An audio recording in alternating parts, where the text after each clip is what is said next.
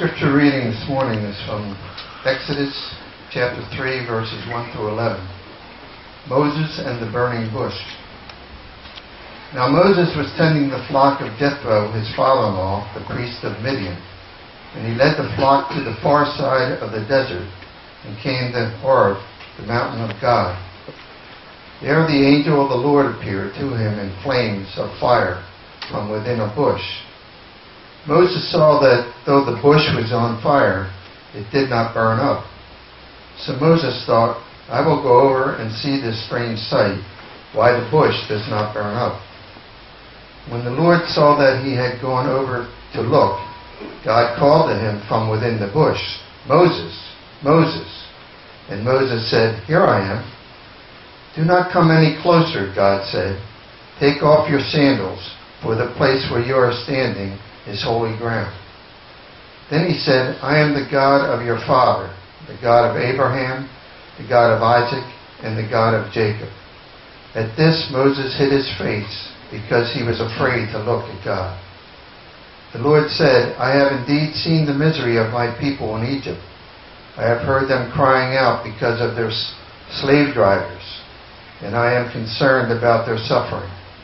So I have come down to rescue them from the hand of the Egyptians and to bring them up out of that land into a good and spacious land, a land flowing with milk and honey, the home of the Canaanites, Hittites, Amorites, Perizzites, Hivites, and Jebusites. And now the cry of the Israelites has reached me, and I have seen the way the Egyptians are oppressing them. So now go. I am sending you to Pharaoh to bring my people, the Israelites, out of Egypt. But Moses said to God, Who am I that I should go to Pharaoh and bring the Israelites out of Egypt? May we be blessed with the reading of his word.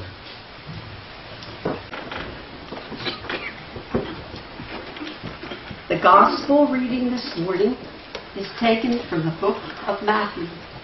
I will be reading excuse me, from chapter 7, verses 24 through 27.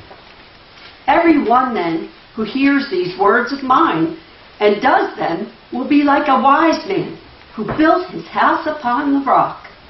And the rain fell, and the floods came, and the winds blew and beat upon that house, but it did not fall because it had been founded on the rock.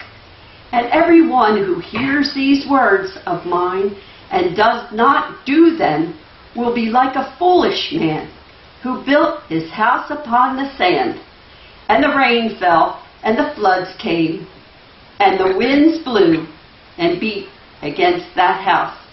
And it fell, and great was the fall of it. I have the distinct privilege this morning to welcome to our pulpit Enrique. I want to tell you, Enrique is not only a friend, but he's a brother in Christ. What does Proverbs say about a friend? A friend is always loyal, and a brother is born to help in time of need. Proverbs was right, and we consider Enrique, a friend of Memorial Baptist Church, and we're thrilled to welcome him today.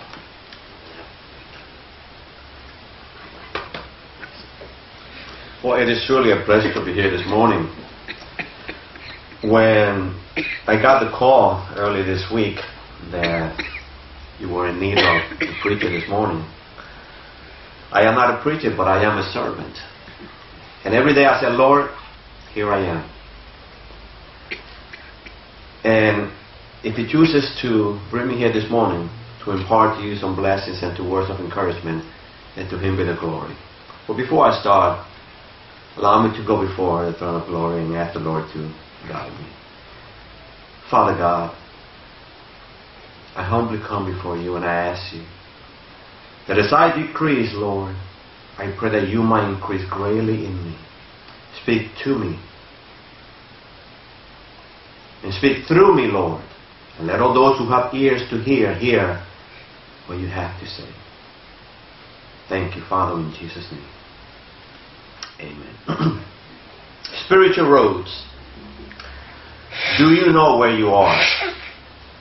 Now, usually, an interesting thing happened in January. Most of us start doing what's called New Year's resolutions. As we look back, as we reflect on the past year, we start thinking about ways that we can change, things that we can improve in our lives.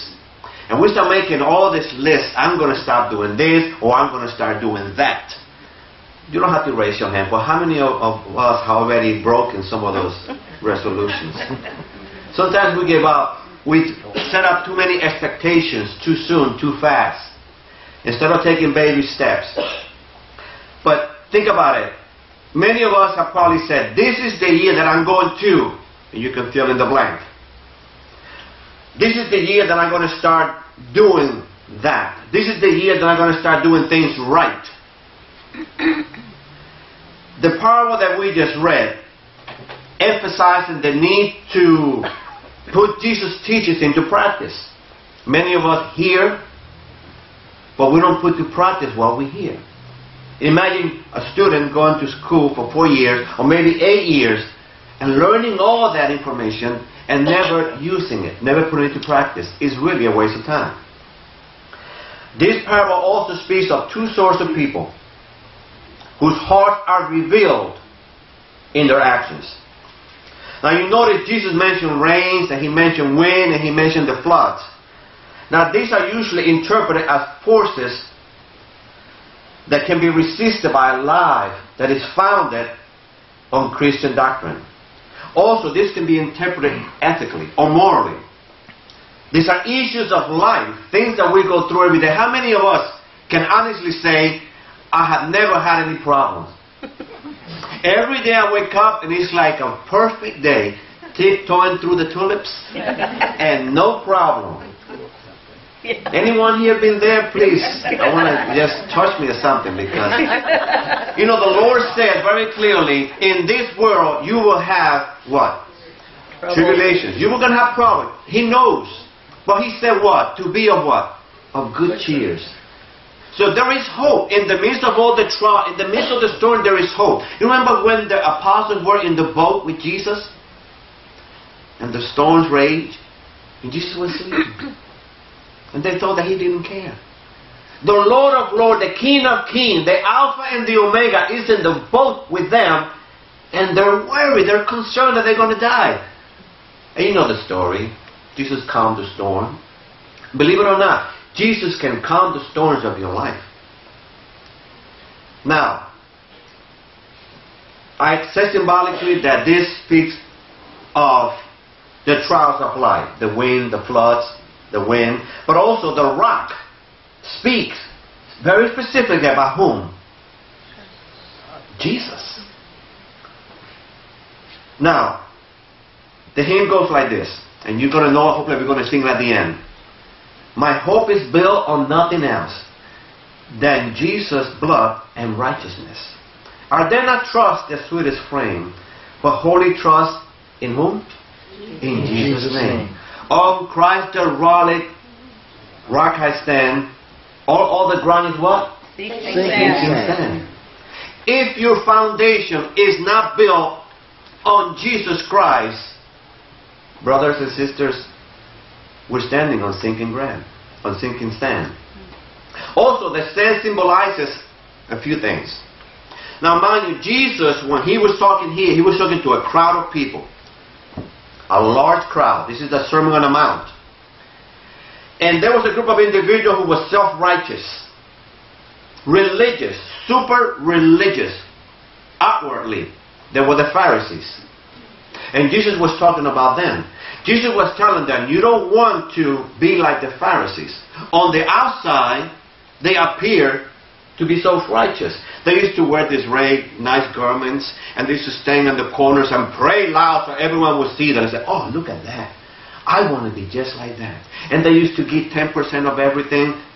So that when on the outside they appeared to be righteous, but on the inside, Jesus called them whitewashed tombs.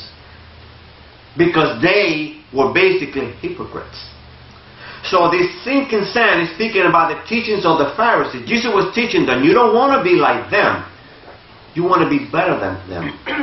How can you possibly do that? Well, follow Jesus. Now, with this in mind, I ask you, where are you on your spiritual walk?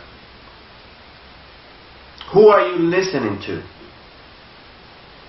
Are you putting to practice that which you, why do you come here every morning? I'm not every morning, but on Sunday morning. Some of you possibly probably come here every morning. I don't know. But why are you here this morning? Are you here because this is what you do on Sunday morning? You come to church. I know I did it for many years. For many, many years.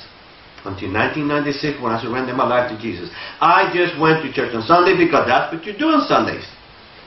I was religious but lost. So I didn't know where I was in my spiritual walk. I was in a crossroads. I wanted to follow Jesus, who I knew about, but I didn't know him intimately. How many of you know the President of the United States? Personally, you have spoken. I know. I'm not saying you know about him. You see him in the uh, newspapers. You see him on TV. Maybe you see him from afar. But to know someone is to know a person intimately. Many of us know about Jesus, but we don't know Jesus as Savior and as Lord. That's where I was. I was on a crossroad. I wanted to follow this Jesus who I heard so much about, who I knew a little bit about, but I also wanted to do my own thing. See, I wanted, I was a disco kid, I told you many years ago. and I used to go to church on Sundays. But on Saturday night and Friday morning, I mean Friday night, I was dancing. I was from club to club. I even heard of preachers, now it's, it's hard to even fathom such a thing, who come and preach on Sunday and from Monday to Thursday are having an affair. And then spend Friday to Saturday repenting so they can come again and preach on Sunday and then start that all over again. That's what the Pharisees were doing. Not all the Pharisees were self-righteous, but many of them were. Because if Jesus spoke harshly against anyone, it was against who? The religious. Amen? Now, where are you in your spiritual walk? Are you standing on solid ground or are you standing on sinking sand? Where are you building your foundation? Let's look at the life of Moses, which we just read. Now, if you read the account in Exodus and you read the words of Andrew in Acts chapter 7, you see something very interesting. Now, we see that, if, how many of you have seen the Ten Commandments by Charlton Heston? Mm-hmm. Now, you know that's a dramatization of, of Hollywood, and it's not quite accurately.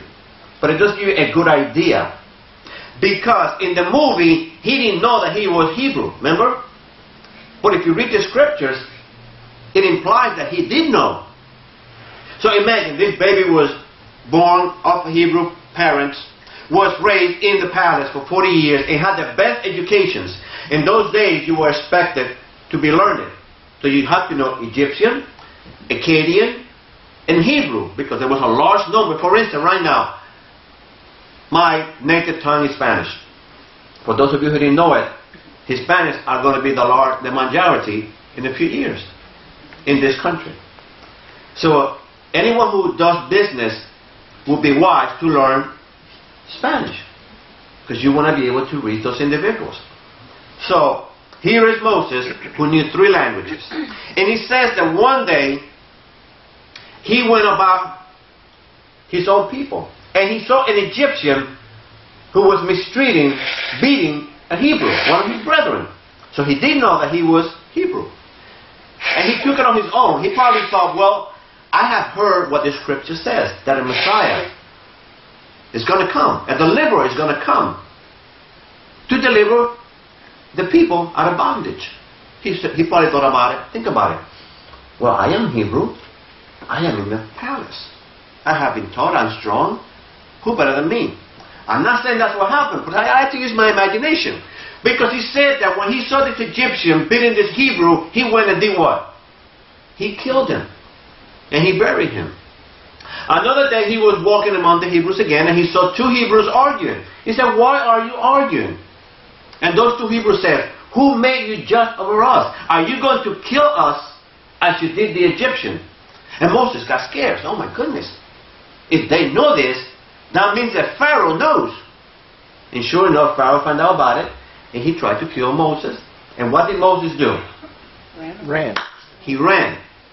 So for 40 years, he was living the life of a king on the good things of life, not quite knowing what his purpose was, but probably trying to do it on his own strength. And then for 40 years, he was humbled. He, he went to the wilderness of Midian, and there he married and had children and so on. And he was living the life of a shepherd. Imagine you are a prince of Egypt, and now you are a shepherd. For 40 years he was humble. And it was there when he had been humbled, if you will, that God met him. And God called him. And God sent him. See, many of us, the problem is that we don't want to put ourselves in the potter's wheel. You know what I'm talking about? Anybody here taking ceramics in school, maybe? What I took years ago when I was at Trenton State College, which obviously you know is now the College of New Jersey, and I took a ceramic course. And I learned some interesting thing. You take that clump of clay and you start molding it. And you start molding it. And you have to massage it and you have to because the idea is that you have to remove all most of the moistures. If you start shaping a vessel and you leave any pockets, air pocket in there of moisture, when you put it into the kilt, or the oven, if you will, the heat you know what's going to happen? It's going to break. And it happened to me a few times. So you have to remove all that air out of there. Well, when you place yourself in the potter's wheel, you say, Lord, remove anything that will interfere with your blessings, with your guiding, with your calling in my life. The problem is that many of us don't want to do that. I was watching last night some, uh, a Christian movie. I forget what it was right now. No, I'm sorry. Years ago, TNT put out a movie called David. I don't know if you ever saw it, it's a miniseries. And the Lord spoke to me. I said, I'm going, I want to prepare a message that's going to call The Pain of Being Anointed. It is painful to be anointed. You know what? I'm, just briefly, just to give you an idea. Imagine Moses. God called Moses to a very hard responsibility. What he, had, what he went through was very difficult. For instance, Paul. Can you imagine receiving this call? When God called Paul through Ananias, he said, Go and tell Paul how much he is going to suffer for my name's sake. Now, please don't get scared. I'm not telling you that God is going to call you to and send you to suffer. But he did say in this one, you're going to face tribulation. If you choose to serve Jesus, Remember, crossroad. If you choose to serve Jesus, you're going to face some tribulations. But you have to remember that you're not alone in all this. Jesus is with you all the way. Amen? Now you see that Moses was humbled and God sent him. Remember when he said, Lord, who am I that you will send me to Pharaoh? How many of us have said at one time or another in our life, Lord, who am I to stand here and lead the service. How many of you has actually stood here? Please raise your hands. Do you not tremble when you're here? Oh, yeah. Why is that? It is an awesome responsibility. Of course, nerves, you know how it is. You can your stomach butterflies and you get all nervous and all that. But it's an awesome responsibility. Now, Moses was humbled and sin and God using in a mighty way. It was not Moses, mind you, but he was the tool that God was using to glorify himself. Remember the staff and all that? So then Moses spent 40 years in the palace as a king, 40 years being humble, being prepared, and then 40 years in the will of God. Because after he went and eventually Pharaoh allowed the people to leave, because that was God's plan all the way. God spent 40 years leading his people. Where are you in your spiritual walk? Are you doing it your own way? Self righteousness? Are you in the process where you're not sure which way to go, but you're saying, Lord, here I am? Or are you at that point you say, okay, Lord, I'm ready, send me? Because when God calls, He prepares. And when God prepares, He does what? He sends. So He sent Moses. Now also, I said this particular parable speaks ethically of the issues of life. But it also speaks eschatologically. That's a big word that means the story of end times. Things are going to come. Now, the house built on the rock pictures a life founded on proper relationship to Christ. If you're standing on solid ground and you're following Jesus, you know that you're gonna the winds of life and the trials and tribulations are gonna come your way. When I first purchased my house, I live in Newark, New Jersey, uh, only about 20 minutes from here. And when I first purchased the house, a big storm came through. And I have water in the basement. And I live in a very low point in the neighborhood. So when the waters start to rise, out my front window, it was like a river. And I, I couldn't see the street. When I looked the back, it was like a lake. So I was surrounded by water. And I said, what have I done? that never happened when I was in Trenton. But now I'm here in this nice house that you gave me, Lord, and I'm surrounded by water. And I was completely overwhelmed. And I started to hyperventilate. And I was really a wreck. I said, what have I done? And, I was, and then I lost myself. Then all of a sudden, I feel the Spirit of the Lord speaking to my heart. And I just went like this. And I just raised my hand and I began to praise Him. Mind you, the water was still all around me, but the waters receded. You see, I did not choose. I chose not to stay in that particular situation. The word says that we are to walk how? By faith and not by sight. How many of us actually say that, but actually find ourselves walking by sight? Let's be honest. Because I do it all the time. Lord, I'm going to walk by faith. I'm going to do what you told me to do. But then things start to happening. And the problem, and the frustration, and the aggravation, and our families. Because the enemy knows how to push the buttons. If he cannot get to you, he will use one of your loved ones to start picking on you. That's what we have to say like Jesus told Peter, Get behind me, Satan. A friend of mine was going to church with her husband a while back. And she was strong in the Lord, but he was not. And they started arguing in the car. And they were in the parking lot. And she got frustrated and she looked at him and says, Get behind me, Satan. And he went, Are you calling me Satan? Remember, that was years ago. Now he's moved to Florida. He has grown in the things of the Lord and he laughed when he hears that. She was not calling him Satan. She was calling the one who was behind, instigating that problem. How many of us have been in that parking lot thinking, I should just go back home? just the morning before you come to church, the kid, the husband, the wife, something always goes wrong and you don't even want to go to church. I shouldn't even go to church. What's the point of going to church? Look at my life. Don't let the enemy defeat you. He that is in you is greater than he that is in the world. Praise His name. When you go through hard times, raise your hand. When you are in this crossroads, raise your hands and praise the Lord. Give Him the glory. They, don't, let, don't give the enemy any edge, any ground. I've been there so many times and I have to catch myself. What am I doing? And I just say, Lord, forgive me, Lord. That's what the Bible says. If you confess your sins, why is that there? Because He knows that every day Sometimes I say, Lord, why do you even bother with me? Anybody been there? Don't be discouraged. He's molding you. Allow yourself to be molded. Amen? So like I said before, this speaks also of the house to stand, that's your life, on the test of Christ's judgment. We are going to be tested. Please turn with me to 1 Corinthians chapter 3. Because, like I said before, this parable speaks of the issues of life, but it also speaks of things to come.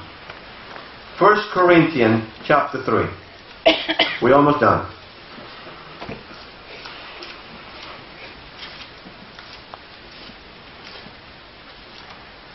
Now, the Corinthian church was the church that was anointed, has so many gifts, but they have focused on themselves and the gift more than on the gift giver. And they have gone astray. And Paul had to straighten them out. Chapter 3, verse 9 through 15. If you have it, say amen. If you do not, say wait. Go ahead. Amen. Okay, verse 9. We are God's fellow workers. You are God's field. You are God's building. According to the grace of God which hath been given me as a wise master builder, I have laid the foundation and another builds on it. What foundation was that? Christ. But let each one take heed how he builds. For no other foundation can be laid than that which I laid, which is Christ Jesus. Now, if anyone builds on this foundation with gold, silver, precious stones, wood, hay, straw, each one's work will become clear. For the day will declare it, because it will be revealed by fire. Now, this fire doesn't speak of hell, but God's righteousness. And the fire will test each one's work of what sort it is. If anyone works which he has built on endures, he will receive a reward. If anyone works is burned, he will suffer loss. But he himself will be saved, yet as through fire. Do you know that you will receive rewards for the things you have done? Yes, God is a just God, a righteous God. Bible says that some of us are going to receive crowns of glory and crowns of righteousness and gold crowns. And it also says, if you read Revelation, that we're just going to cast those crowns upon Jesus' feet. But it also says, be careful how you build. Imagine, I heard one time Dr. Jeremiah, Dr. David Jeremiah said that some of us are going to be indecently exposed before the Lord. Can you imagine such a thing? Imagine you before the Lord and He says, What did you do with what I gave you? Did you ever witness to someone? You say, Well, I'm afraid, I don't know what to say. You can witness with your life. You understand what I'm saying? You can live such a life that people will say, There's something different about you. Believe it or not, I am involved in the Gideon ministry. I will be meeting with you again next month. I will, I will talk, oh, some of you who will say, where's my wife? she is not here today, but she will be here next month. Amen? But anyway, we have to witness. We go on the streets, we go to the hospitals, and we get rejected. How many of you ever witnessed to someone and they had just flatly rejected you? Anyone? It hurts, does it? But at least you have been faithful. But imagine if the Lord says, I told you to go and tell that person about me and you did not. And you are in the presence of the Lord. How would you feel?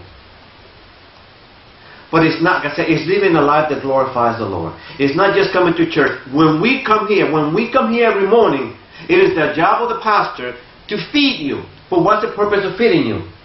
So that you can in turn go and feed others. The pastor, Pastor April, cannot be everywhere as you can obviously see, she cannot be here this morning. So she cannot go and reach your neighbor or your family members or someone across the seas. But maybe you can. Amen? Amen. So, do you know where you are? This is between you and the Lord. You don't have to tell me. I found myself at a crossroads in 1996. As I told you before, you may not remember, but briefly, I had just come out of church where I was active. I was sort of an elder. And yet, I did not know Jesus as my Lord and Savior. And I had just come out of church as empty as I walked out. Not because the pastor did not preach a good sermon, but my heart. You follow what I'm saying? It's like I have earplugs. For instance, when I go to sleep, I put in earplugs. So I when I hear my wife going, I believe my wife said, women don't snore. I said, yes, but you do. and I do too. But any noise would disturb me. So I put these earplugs and I hear nothing. You follow what I'm saying? Some, some of us, our spiritual ears are clogged. And my spiritual ears were really clogged. So I left the church that day. I got in the car, and my wife had the habit of turning into the Christian station. And as I turn on the, I got in the car, I turn on the car and the radio, and this guy comes and say, "If you were to die right now, where will you go?" I mean, it's like God talking to me. Will you go to heaven or will you go to hell? And I was so convicted. I said, I'm going straight to hell. I didn't think about it. I knew it. It's like God convicted me. I said, I'm a hypocrite. I just come to church. So I spent two years searching. I was hard-headed. Two years. But in March 1996, April 21st, I surrendered my life to Jesus. I said, Lord, here I am. Before, believe it or not, I would just come to church and I would sit and warm the pew. I couldn't even do what some of us did this morning, direct of the service. I couldn't even do that. I couldn't even say grace when we sat down to eat at my, at my home. But when Jesus came into my heart, there was an explosion. I'm not a great speaker. I don't know much about the Bible, although I'm learning. I'm in seminary right now. I'm on my last semester. Thank you, Jesus. Six years, part-time basis. Uh, my last semester right now. But why am I doing this? Because I want to glorify Him. How many of, of us want to really please our parents? How many of you work really hard to please your parents? Anyone been there? You follow what I'm saying? I want to please my Heavenly Father. I know that on my own strength I cannot do it. I fell every day. But by His grace, here I am this morning. To Him be honor and glory. So I ask you again, do you know where you are? Are you standing on solid ground? Or are you standing and building on sinking sand? There is no other foundation. Are you in, in your spiritual crossroads? Choose this day whom you will serve. If, I don't want to assume anything, if you are here this morning and if you don't know Jesus as your Lord and Savior, if you're saying, I am not sure if I have really surrendered my life to Jesus. Today, the Bible said, today is the day of salvation between you and the Lord. Ask Jesus to come into your heart and to change you. Amen. That's what I did in 1996 and it was the best decision I had ever made. So do you know Jesus as your Lord and Savior? If you do not, you're building and standing on sinking the Lord bless you and the Lord keep you. The Lord make his face shine upon you and be gracious to you. The Lord lift up his countenance upon you and give you peace. Go in peace